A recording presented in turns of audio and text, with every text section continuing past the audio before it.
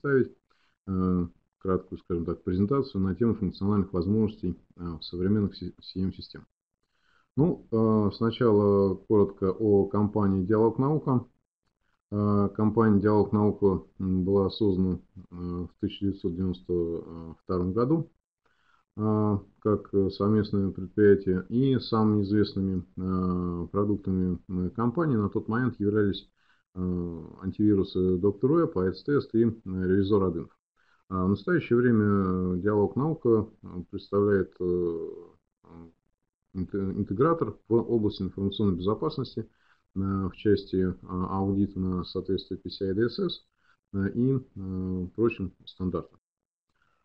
А, ну, а, соответственно, краткое содержание сегодняшнего семинара. А, соответственно, остановимся на общих средних CM-системах, э, обговорим, какие требования к ним предъявляются и рассмотрим реализацию данных требований на примере такой CM и CM-системы ArcSight Logger и ArcSight ESM. В частности, остановимся на модели пользователя, модели ресурса, который позволяет сконцентрироваться на Э, важных атаках, понимать их э, опасность или важность, рассмотрим некоторые базовые модули и э, остановимся на некоторых примерах использования CM-систем.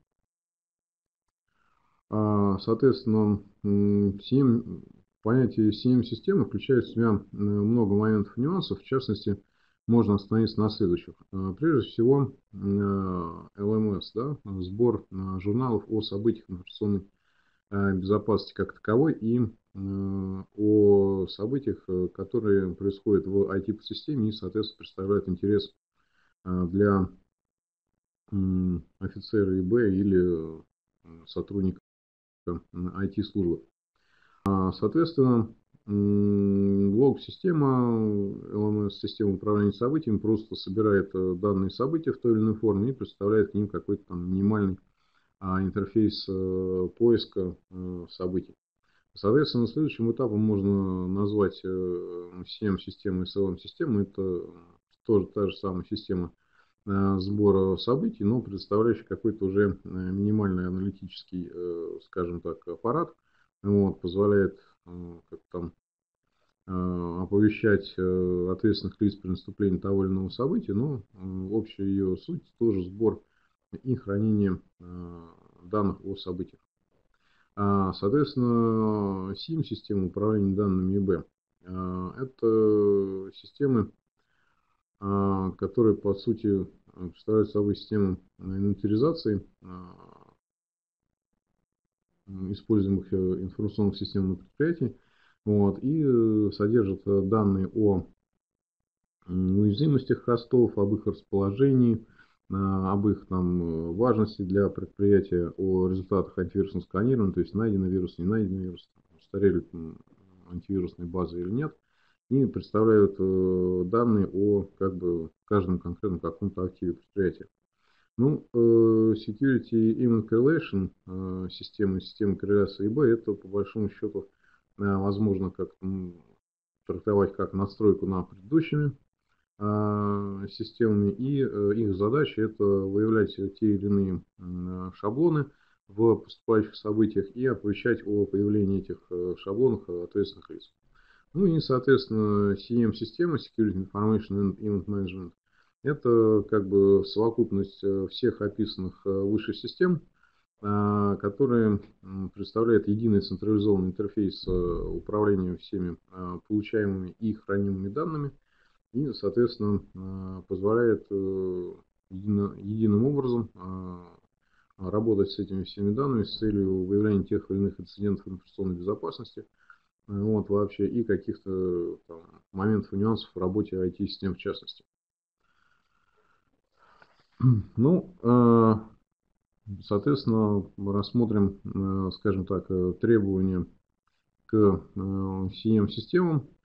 А, которые к ним предъявляются по их сути. Ну, прежде всего, это сбор и получение сведений о, э, о событии и контексте события. Ну, э, сюда можно отнести как э, получение непосредственно самих событий с наблюдаемых систем, а, так и получение данных об активах предприятия. Ну, как уже упоминалось, система это совокупность многих систем, и, соответственно, она должна также откуда-то, желательно в автоматизированном режиме, получать сведения о уязвимостях приложений, о там, сетевом расположении и о многих других моментах, и это все должно быть сравнительно автоматизировано, и сведения должны поступать постоянно а, самые, так сказать, актуальные.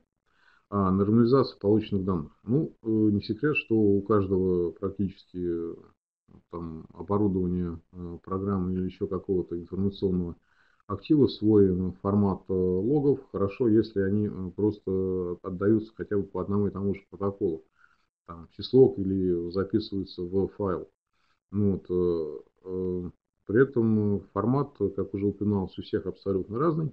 Вот, и для того, чтобы CM-система могла э, функционировать э, на, как бы, э, полнофункционально, э, все данные должны быть э, сравнительно одного формата э, и иметь э, какие-то, э, скажем так, наименования, одинаковые наименования полей.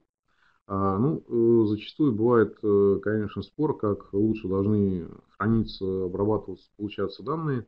Мол, э, как бы вот некая там наша система там получает все данные и из этих данных там извлекает необходимые, или наша система все получает данные, нормализуя их полностью.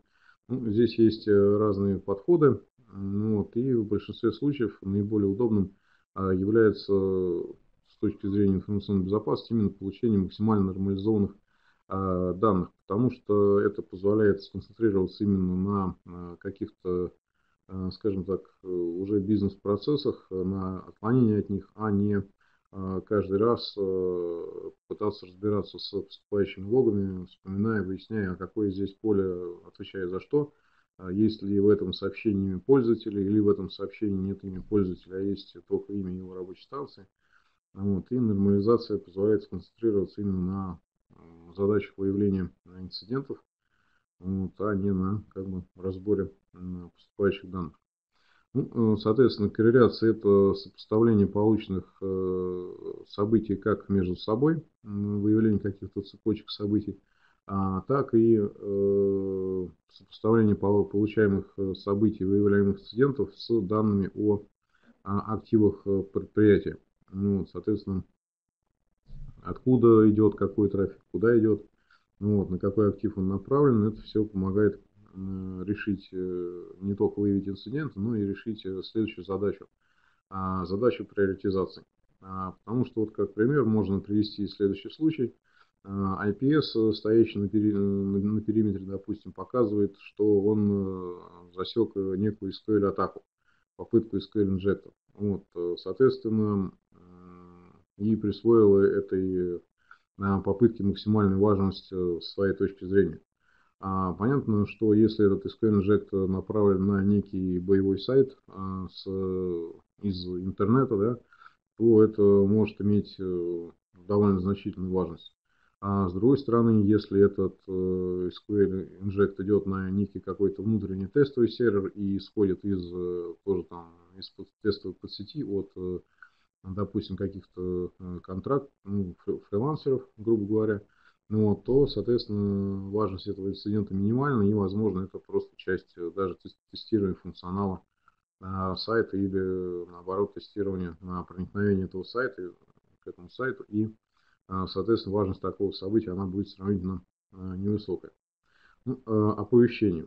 Понятное дело, что за консолью мало кто постоянно сидит 24 часа в сутки, несмотря на бегущие события, и поэтому CM-система должна обладать функционалом оповещения всех заинтересованных э, лиц, всех вовлеченных в процесс лиц с целью доведения до их э, сведения как бы данных о выявленных инцидентах вообще и каких-то отчетов, скажем так, в частности.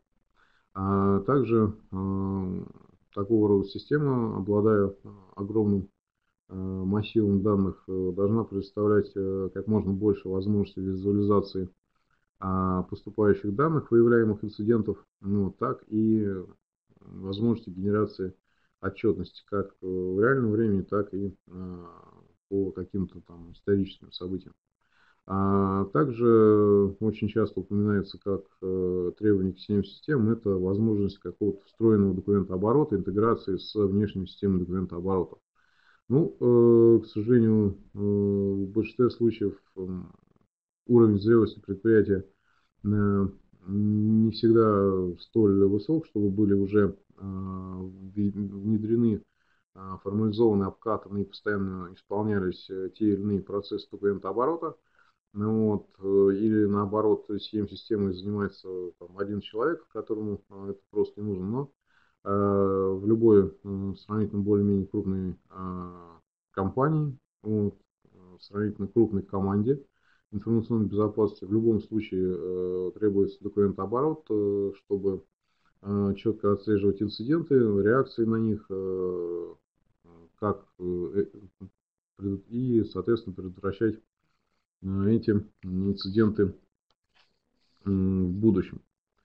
Ну, э, рассмотрим э, упомянутые моменты и нюансы на примере такой CM-системы, как HP ArcSight.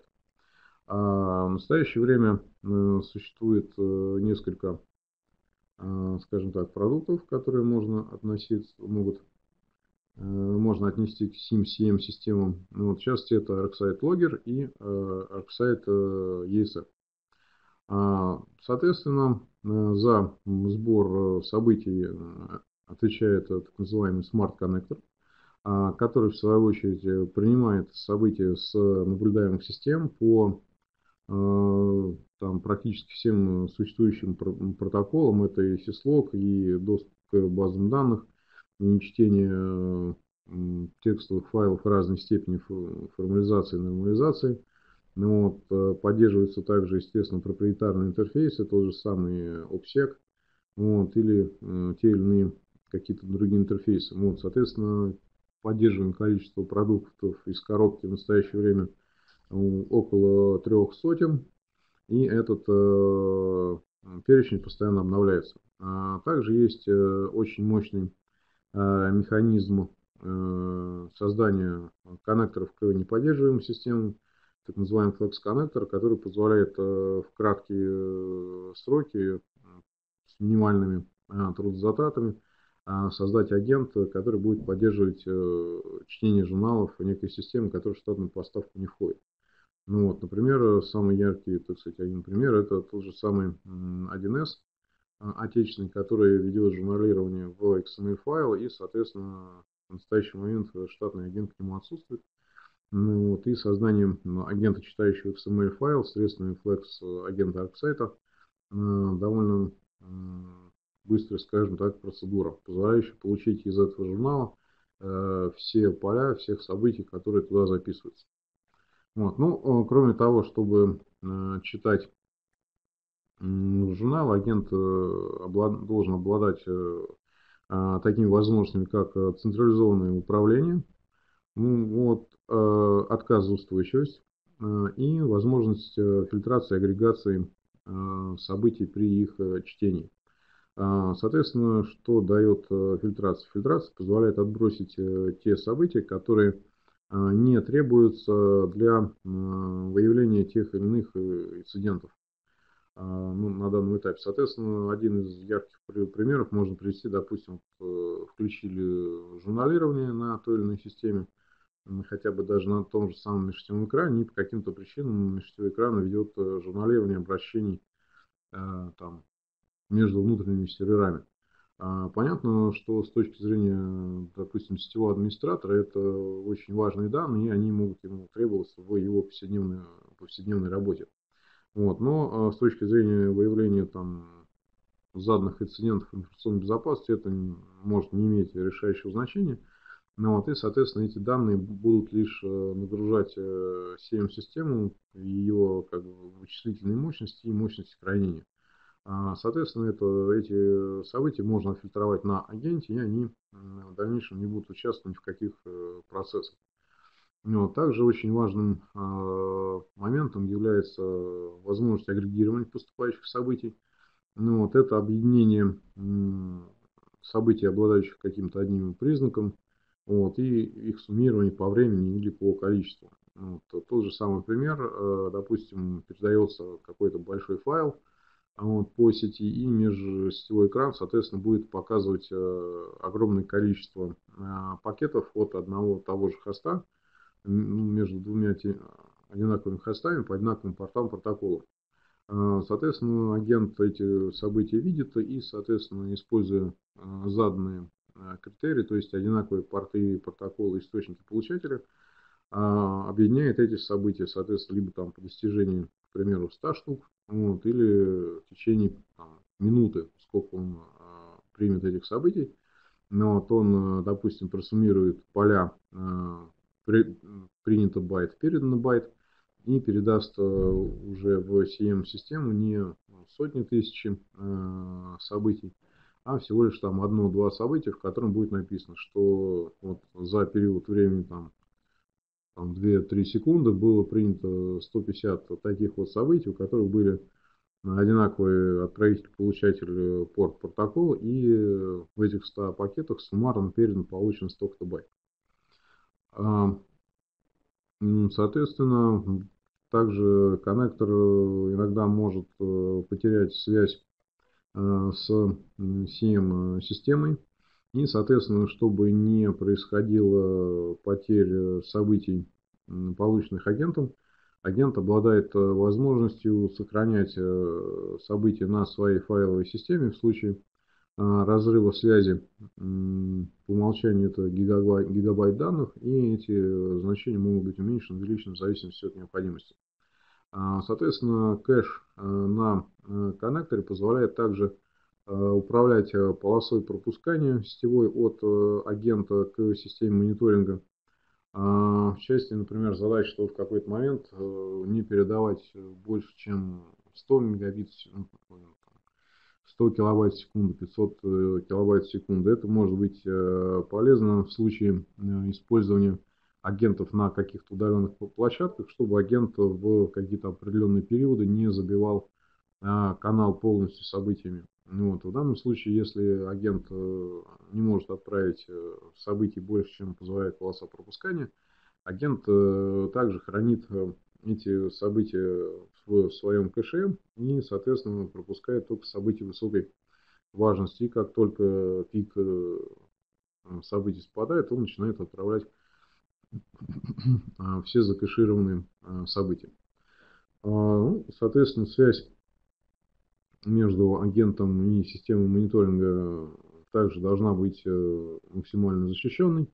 И э, в штатном режиме связь осуществляется по SSL, TLS 1.2 и как бы соединение защищено а в общем случае самоподписанными сертификатами и при желании можно использовать э, сертификаты, выданные э, удостоверяющим центром э, компании.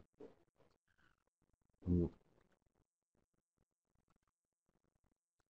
Соответственно, также стоит остановиться на нормализации.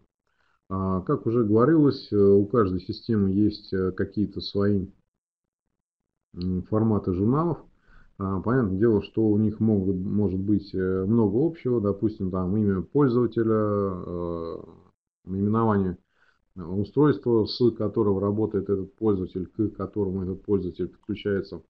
А, но а, эти все события имеют э, разный формат, и чтобы CM-система могла их максимально быстро и корректно обрабатывать, требуется, как уже упоминалось, нормализация.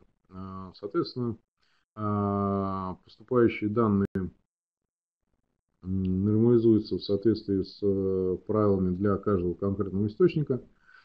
И уже в CM-системе э, мы видим в единообразном, скажем так, э, формате все поступающие события, что позволяет довольно быстро разрабатывать те или иные правила и фильтры и получать максимально как бы, полные данные о а, событиях. А, при этом э, зачастую возникает вопрос, что вот некая там CM-система, да, допустим, наоборот, использует только, э, скажем так, сырые данные и ищет в них какие-то сведения, э, используя регулярные выражения.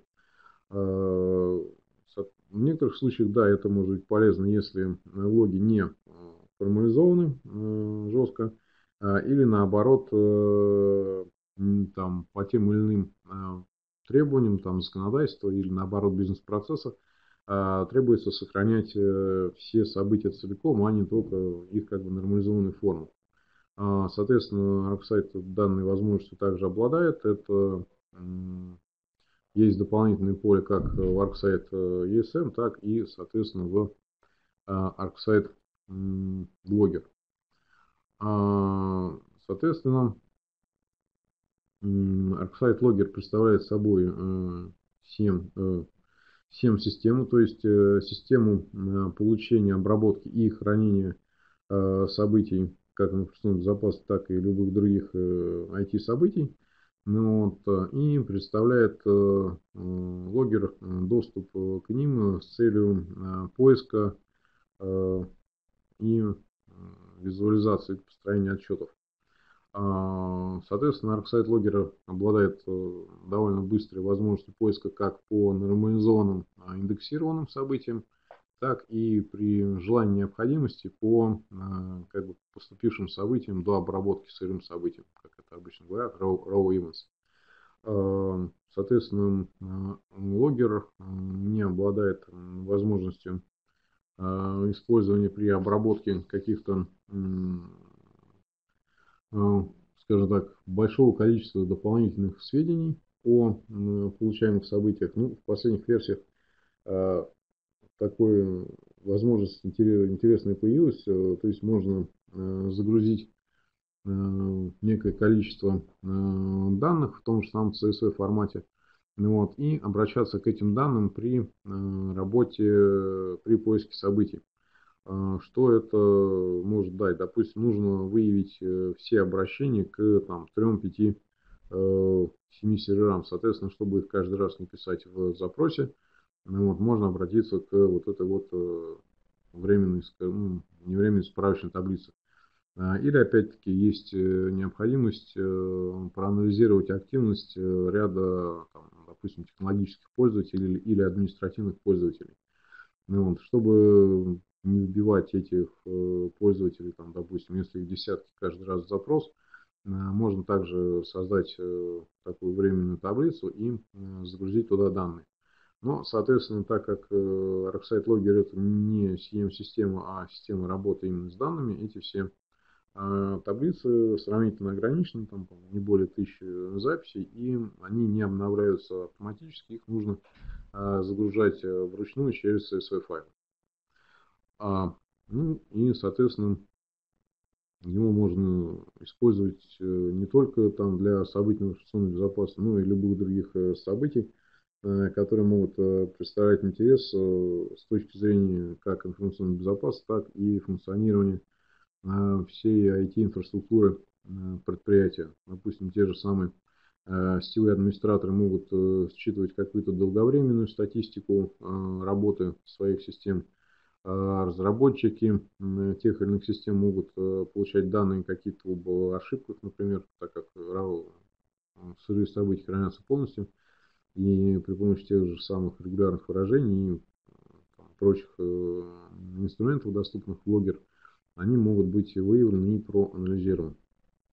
Ну, а, соответственно, перейдем к следующим моментам, э, доступным в уже более старшей системе ArcSight Logger. Вот, в частности, это э, модель сети. Э, модель сети включает в себя э, как и наименование, описание подсетей, расположение самих подсетей, там, объектов, вот, что позволяет уже как бы системе уже понимать, откуда идет какой трафик и насколько он важен. А, потому что вот, э, да, события с firewall имеют IP-адрес получателя, IP-адрес отправителя и какие-то порты. Ну, вот, и, соответственно, в любой сравнительно более-менее крупной компании количество там, подсетей, э, сетей может исчисляться сотнями, если не тысячами. И, соответственно, если э, как бы, CM-системой пользуется не сетевой администратор, который работает в этой компании, там, может быть, с момента ее основания или там, последние пять лет, Э, эти IP-адреса ему зачастую ничего не скажут. И CM-система тоже не сможет никак отреагировать на события, когда видит, что идут какие-то там трафик откуда в какую-то сеть. А чтобы CM-система могла там, присваивать более высокий приоритет, допустим, трафику, идущему на какой-то там серверную подсеть или еще что-то, она должна знать, что вот этот вот э, диапазон, на, здесь у нас э, стоят, к примеру, почтовые сервера, ну вот, и надо там обращать внимание на трафик отличный от э, почтового, если он вдруг пошел. Ну вот, а вот в этой сети у нас стоит, стоят базы данных, и, соответственно, если там идет какой-то трафик, не относящийся к базам данных, то это тоже может быть повышенный какой-то интерес. Соответственно, если трафик наоборот между двумя внутренними подсетями, то его вообще можно там не анализировать и не обращать внимания. А если вдруг пошел трафик из э, DMZ в интернет, да, то тут надо сразу выкидывать, выкинуть, выкинуть красный флажок и оповестить э, всех заинтересованных лиц о вот вдруг внезапно начавшемся трафике. Соответственно,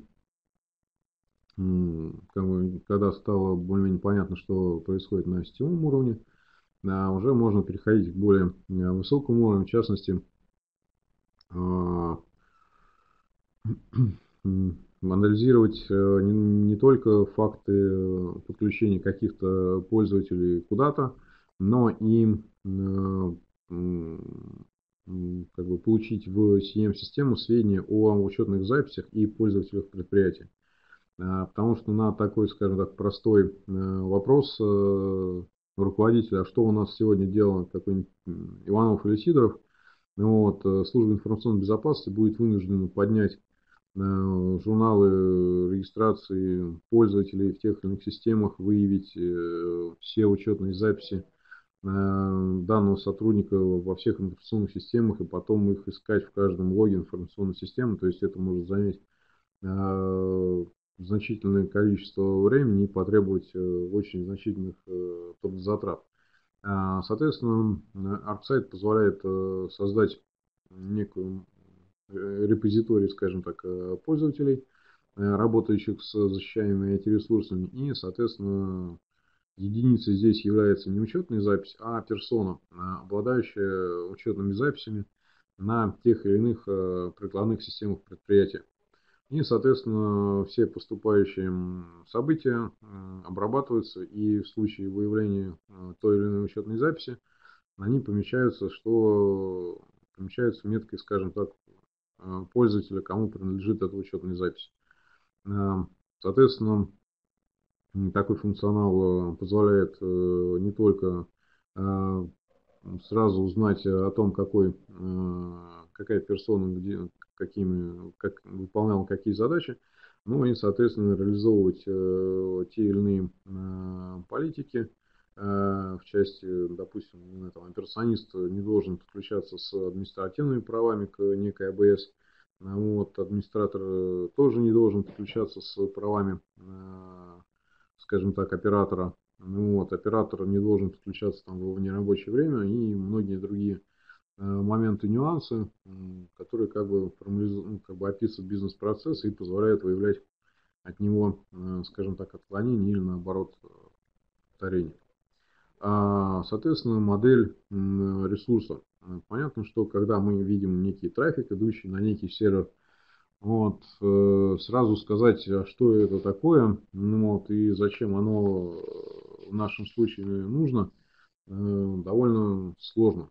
А в любом случае нужно понимать, э, что это за сервер, какую он э, несет роль, какую он имеет важность, и уже в соответствии с этим э, принимать те или иные действия. Соответственно, ArcSite обладает также своим репозиторием ресурсов, в который входит не только какие-то там описания этого ресурса, но и перечень его уязвимостей, перечень открытых там, штатных портов, перечень э, работающего на нем ПО, ну, ну и, соответственно, критичность э, и важность ресурса для бизнеса компании. Ну, данный репозиторий позволяет довольно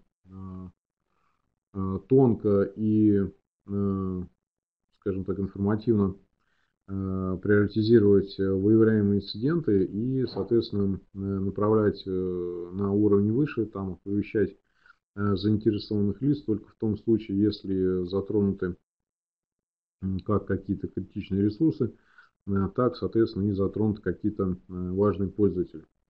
А, соответственно, как уже упоминалось, э, эти данные должны храниться в CM-системе э, максимально, скажем так, полно и обновляться с максимально доступной частотой. Да, там, допустим, появился новый сервер в сети, выведен сервер из эксплуатации, э, принят на работу новый сотрудник, там, ему выданы какие-то новые права или, соответственно, там ушел вот, перевелся в другой отдел. А, и для получения этих сведений там, с максимально доступной э, скоростью ArcSight обладает э, специализированными агентами для подключения как к IDM-системам э, или, например, кадровым службам для получения данных о персонах, так и агентами для получения данных о сетевой инфраструктуре вот, и получения данных о ресурсах.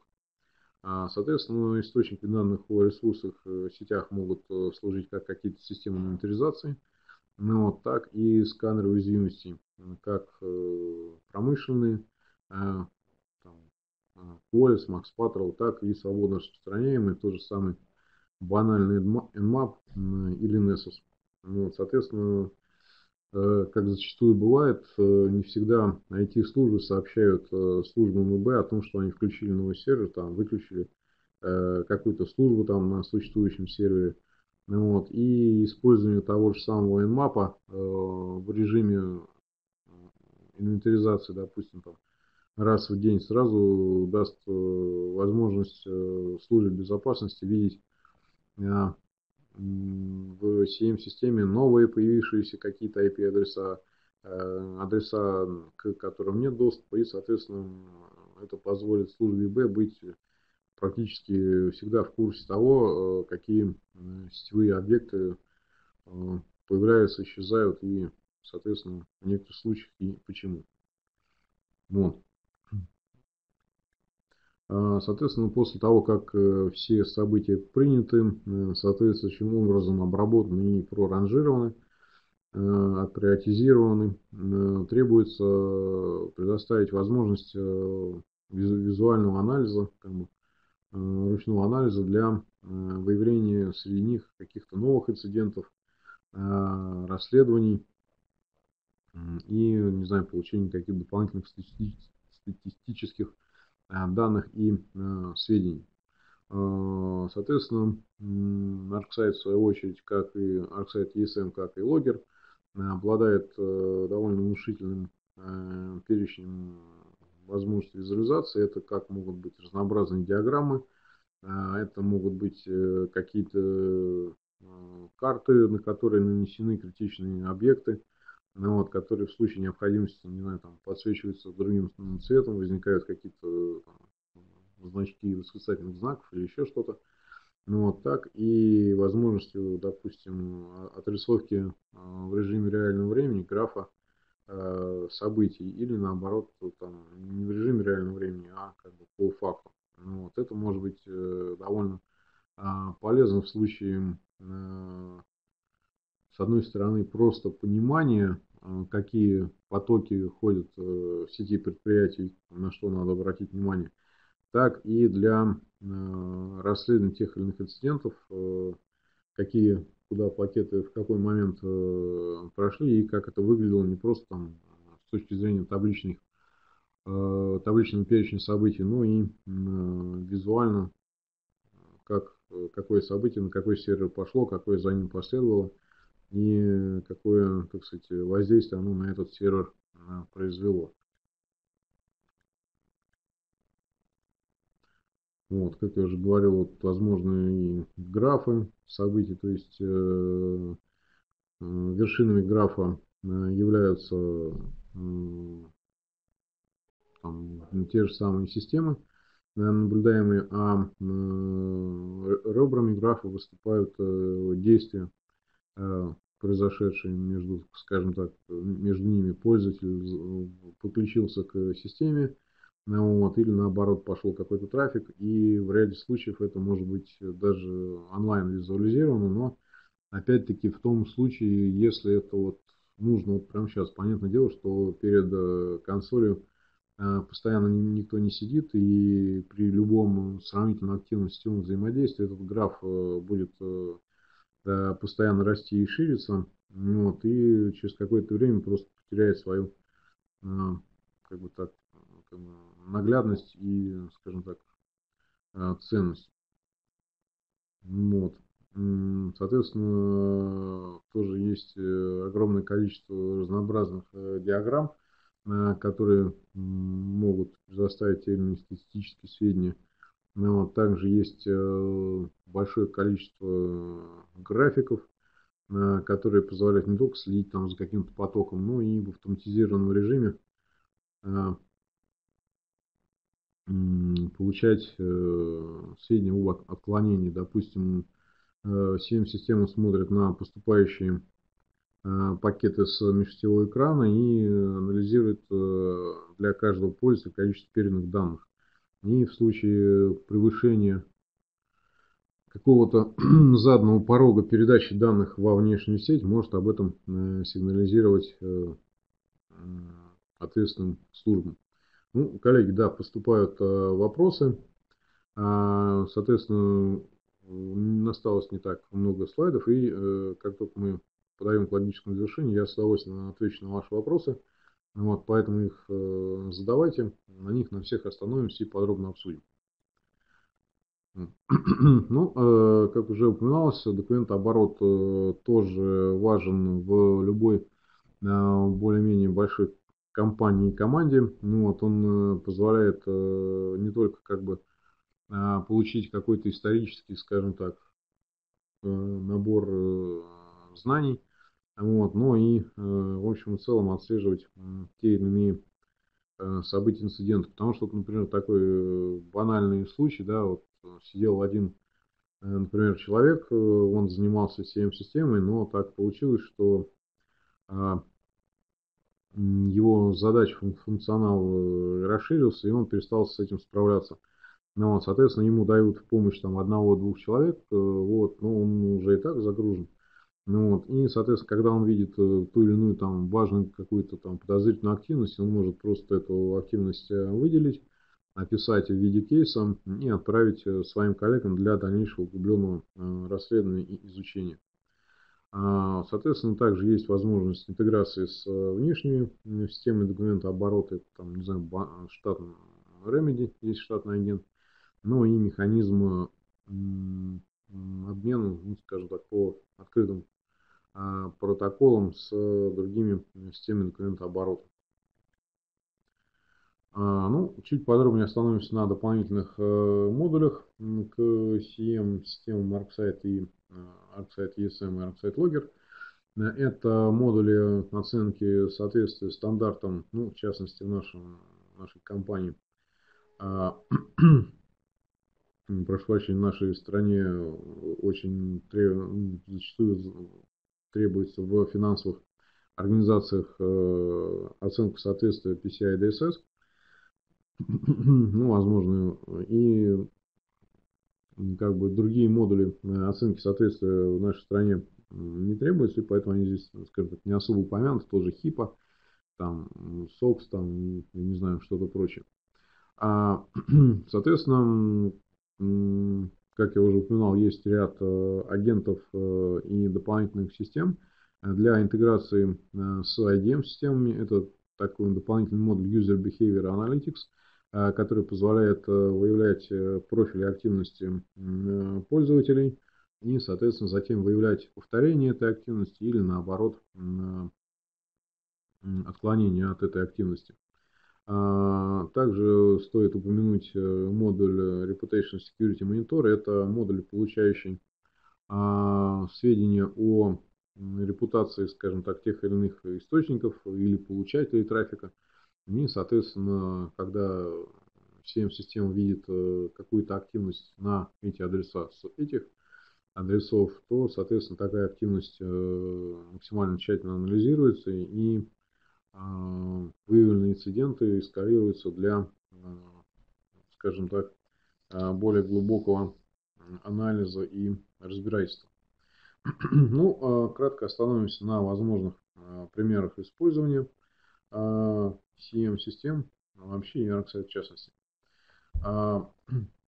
Соответственно, как уже упоминалось, репозиторий пользователя сетевая модель существует в системе, но также в системе существует э, встроенная гео-IP база, вот, которая тоже дает довольно интересные э, результаты по хотя бы по географическому расположению объектов информационного обмена. Но опять-таки как-то раз Э, бывали такие случаи, что, например, есть вот, э, да, там, э, внутренние немаршрутизируемые сети 192, 168, 170, 172, 16. Ну, вот, как-то в одной компании пришлось увидеть такую интересную вещь, что построенная диаграмма по обмену данными начала показывать сведения из, из Алжира, Франции, вот, э, и, соответственно, на вопрос о наличии филиалов в этих странах, э, как представители э, заказчика удивились, сказали, нет, у нас никогда не было никаких французских, там, алжирских, тем более офисов. Вот, я говорю, а как же так, IP-адресат явно какие-то французские, алжирские. Выяснилось, что на заре, скажем так, интернета в России, в этой компании администратор решил, что 172.16 по сети ему не хватит, вот, и стал э, использовать э, следующие сети 173, 174. Ну, вот, но это внутри э, сети, внутри самой компании, они не маршрутизируются, естественно, извне никак недоступны. Вот, но, тем не менее, вот был такой вот очень интересный момент и нюанс, когда вот пошел такой трафик извне, хотя это все э, крутилось внутри, внутри даже одного, скажем так, одной серверной. Ну, даже такое бывает. А, соответственно, система может э, выявлять э, одним маленьким правилом э, множественный доступ с разными учетными записями к одной рабочей станции и доступ с одной рабочей станции с несколькими учетными записями к системе. Ну, это может быть полезно, допустим, при обработке, выявлении инцидентов в случае работы операционистов, когда э, кто-то кому-то дал учетную запись, а он под ней решил там, помочь своему соседу Пете, который там ушел пораньше, не знаю, там э, находится в отгуле и, соответственно, работает со своей учетной записью с несколькими, ой, со своей рабочей станцией с несколькими учетками. Ну, вот. ну и наоборот выявить ситуацию, когда один и тот же человек пытается работать с нескольких Э, рабочих станций или наоборот дал свой логин-пароль кому-то, а все остальные почему-то решили, что надо входить в рабочую станцию не под своим именем, а можно использовать там какой-то усредненный, э, скажем так, э, объект и там логиниться под там, сотрудника колл-центра Вася. Ну, это, соответственно, тоже неправильно. А, ну, возможно, тоже может быть интересно в ряде случаев доступ к информационным ресурсам в на нерабочее и праздничное время. Ну, также стоит отметить, например, в телекоммуникационных крупных компаниях э, могут быть э, запрещены какие-либо настроечные работы на э, магистральном оборудовании в рабочее время, ну, кроме там аварийных каких-то работ, которые связаны с теми или иными инцидентами, заведенными в соответствующей системе. Вот, и, соответственно, CM-систему мы может получать эти сведения как из э, каких-то тикет-систем, так и самого э, сетевого оборудования о том, что вот началась конфигурация, и, соответственно, если эта конфигурация не связана с какой-то с каким-то таском открытым в этот момент, то, соответственно, э, все заинтересованные лица будут об этом оповещены и, возможно, приняты те или иные меры. А Соответственно, также сравнительно э, легко ArcSight э, может выявить э, случаи создания удаления пользователя в какой-то краткий промежуток времени, присвоения новому пользователю, существующему пользователю каких-то дополнительных прав и удаления этих прав. Соответственно, зачастую может быть так, что пользователь там получил какие-то дополнительные права, куда-то какие-то действия произвел, и потом эти права, ну, не знаю, удалил э, сам себе, чтобы не светиться. Ну, вот, или там договорился с администратором, что дай мне вот на 5 минут права, я быстренько там нажму и все станет хорошо, а то пока я получу там какое-то э, большое согласование разрешения, там поезд уйдет и будет поздно. Вот эти все моменты, нюансы тоже могут быть выявлены и э, проанализированы. А, соответственно, также может э, без каких-либо э, затруднений и нюансов появляться факт доступа с одними и теми же учетными записями с разных мест. Допустим, стандартная ситуация, что идет доступ по VPN там из дома, пользователь подключился, там работает удаленно, э, попал на больничный, а в это же время пошел его логин откуда-то там, не знаю, совсем из другого места, вот, не имеющий никакого отношения к его, э, скажем так, местоположению.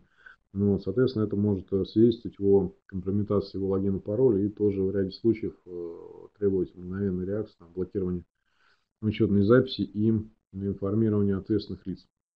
Ну, наверное, на этом э, вкратце все. Соответственно, готов э, ответить э, на ваши вопросы. Но, соответственно, коллега спрашивает, что ArcSite содержит сведения о средствах и методах защиты информации, а также PDN пользователей. Ну, PDN пользователей я не знаю. PDN у нас, соответственно, там это что-то, которое позволяет однозначно идентифицировать человека. Соответственно, да, там паспорт, дата, место рождения и все прочее.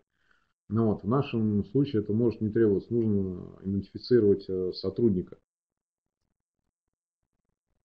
внутри конкретной организации и, соответственно, именно вот так прям PDN вот, в этой системе храниться не будет, э, с одной стороны. С другой стороны, сведения о средствах и методах защиты информации. Ну, она на то и CM-система, чтобы знать, что вот это firewall, здесь у нас IPS, они э, имеют такие-то там возможности анализировать такие-то подсети. Вот. А, и как бы эти сведения в ней хранятся именно для выявления максимально большого количества инцидентов с одной стороны и э, снижения количества ложных срабатываний. А, соответственно, понятное дело, что функционал управления персональными данными не сертифицирован и, естественно, вряд ли когда-либо будет сертифицирован, потому что персональные данные – по факту в ней не хранятся, вот, и какого-то внешнего доступа к ним не предоставляется. Соответственно, логи самой себя. Да, логов самой себя есть огромное количество, вот как э, технологические логи а, о том, что происходит внутри самой системы. Вот. А, ну, функционал управления доступом, как уже понял, ну, я не знаю, что там, логины, пароли, да, там, Соболь прикрутили к ней или еще какие-то токены. Вот, и все это сертифицировано соответствует отечественным требованиям, ну, я думаю, это крайне маловероятно. А, а, так, соответственно, мы говорили про, про логи. ну, ну и э, логи как технологические, как э, чувствует сама себя система, э, так и Э, логи доступа пользователей к ней, логи э, управления какими-то внутренними объектами, э, событиями, то есть создано правило, удалено правило, там, да, это правило активировано, деактивировано, вот это все отслеживается и вполне становится понятно, кто какие действия внутри самого сайта делал и почему, например, вдруг стал там выдавать огромное количество ложных срабатываний или наоборот началось там какое-то торможение в системе целиком. Вот. Э, мониторинг виртуальных сред в январе Hyper-V. Ну, э, что можно сказать, что есть э, штатные агенты к, как Hyper-V, так и в январе. Вот, соответственно, все сведения, которые выдают эти системы в части управления доступом, управления пользователями, управления виртуальными машинами в части их переконфигурации, создания, удаления, там включение-выключение в арк-сайте присутствует. Ну, вот, каких-то там особо глубоких модулей, вот, там, не знаю, оценки производительности внутри виртуальных сетей, естественно, нет. А как осуществляется первоначальный сбор информации о пользовательских ресурсах? Ну, да. А, в случае, если пользователей и ресурсов там, меньше 10, администратор может внести это изначально вручную. Вот, если этих систем пользователей больше, вот, то, как я уже упоминал, используются э, дополнительные штатные агенты, которые считывают эти сведения из э, того же самого Active Directory, вот, из э, IDM систем, из LDAP источников, я не знаю, или просто там из CSV файлов.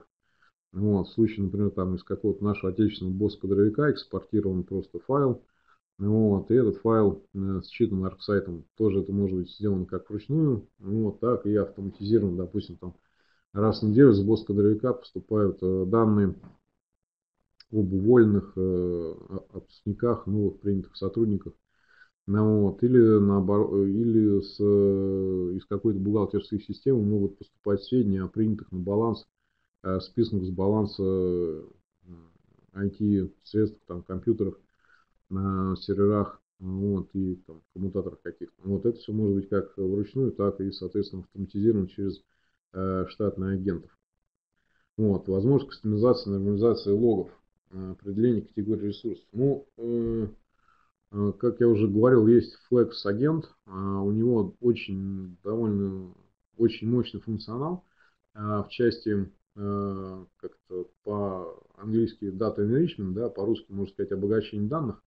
Вот, например, могут быть использованы как эм, текстовые файлы, а, так и э, доступ к внешним базам данных. Соответственно, вот э, пример, э, та же самая некая банковская система, она работает с клиентами, и у банка есть, естественно, своя некая репутационная база, ну вот, и они хотят в эти события добавлять дополнительные сведения о репутации того или иного там, клиента-заказчика. Вот, э, чтобы не загружать CM-систему, э, Flex агент обращается к базе данных, там запрашивает, не знаю, там, по NNN, вот, там, BIG или еще какому-то параметру сведения и добавляет их в само событие и отправляет уже в CM-систему. Таким образом, CM-система, э, с одной стороны, разгружается от необходимости доступа во внешние какие-то объекты, вот, и с другой стороны, уже в нее поступают события значительно более информативные, чем они были изначально. Вот. Ну, надеюсь, вот ответил э, на вопрос пользователя э, А. Матусевича о написании сигнатуры обработки RAW Вот. Э, возможности оповещения администраторов. Ну, штатно возможность оповещения по e-mail. Вот, по выдаче всплывающего окошка на консоль. Ну и при необходимости, ну, раньше это были пейджеры, вот, а сейчас любая другая система, которая можно заправить, там, отправить get-запрос на соответствующий URL ну вот, э, со сведениями и, соответственно, дальше это может быть любая другая какая система оповещения смс или еще что-то. Вот, Flex агент инсталируется на отдельную машину. Ну, э, да, агенты ArcSight, они инсталируются, скажем так, на некий сервер сбора событий. Ну, вот, то есть берется обычно отдельный сервер под управлением там, Linux или Windows как э, удобнее в конкретном взятом случае, и туда инсталируется ряд агентов, ну, вот, которые собирают э, события с, как бы, с максимально, как бы, максимально удаленно. То есть э, считывает Windows события через RPC, там Remote Procedure Call, э, получает данные с баз данных э, через штатные HDBC протоколы, вот, ну и, соответственно, слушает э, сислок, э, который на него отправляют э, сетевые устройства. Также может слушать там NetFlow, SNMP, ну, все в зависимости от э, каждого конкретного случая и э, окружения. Э, как осуществляется контроль наличия уязвимости на ресурсах и их закрытие? Ну, в данном случае э, штатными, опять-таки, агентами или не совсем штатными, ArcSight интегрируется с сканерами уязвимостей. Ну вот, как уже упоминалось, это могут быть и промышленные системы, там Qualys, Nmap, ой, Qualys, Max Patrol, так тот же самый Nessus и Nmap. Ну вот, и, соответственно, эти события поступают в ArcSight и уже есть ряд штатных встроенных отчетов, правил, оповещения о том, что появилась новая уязвимость, сведений об этой уязвимости в новом отчете нет. Ну вот, какой-то порт от, появился открытый, какой-то порт э, появился закрытый. Это все как бы штатными отчетами видно и при необходимости, при желании можно включить оповещение ответственных лиц этих, этих правил и прочих. Список поддерживаемых сканеров. Ну, э, я не знаю, вы можете обратиться просто к нам по почте или оставить свою почту, мы вышлем вам полный перечень э, поддерживаемых штатными агентами систем. Вот э, сразу могу сказать, что Qualys, Max Patrol, Nmap, Nessus, там некие другие, Symantec, еще что-то, сканеры. То есть все распространенные поддерживаются. Если у вас используется некий другой сканер, то если он поддерживает э, экспорт в XML или у него какая-то сравнительно там э, доступная для понимания система хранения баз данных, может быть э, написан Flex агент для получения сведений из баз данных самого сканера. Ну, интеграция с антивирусным решением корпоративной линейки. Но с корпоративной линейкой интегрируется совсем чем только по большому счету можно. А в части это и э, те же самые Макафи, Симантек, э, не знаю, там Касперский корпоративный, Доктор Веб корпоративный. Ну вот, с этими всеми системами ArcSight имеет э, штатный агент и может интегрироваться без каких-либо ограничений, поддерживать, поддерживать практически все события этих систем. Ну вот, тот же самый Symantec, например, да, это не только же антивирус, но это еще и хост IDS, и хост Firewall, там а в некоторых случаях э, управление доступа, контроля к сети, NAC. Но вот эти все события считываются из э, логов э, антивируса и попадают в CM-систему.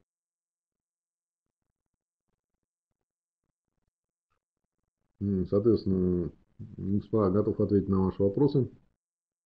Пишите, задавайте. А, вот, если э, вопросов нет, э, прямо сейчас вы можете обратиться к нам э, по электронной почте. Будем рады вам ответить на вопросы, предоставить любую дополнительную возможную информацию. Вот.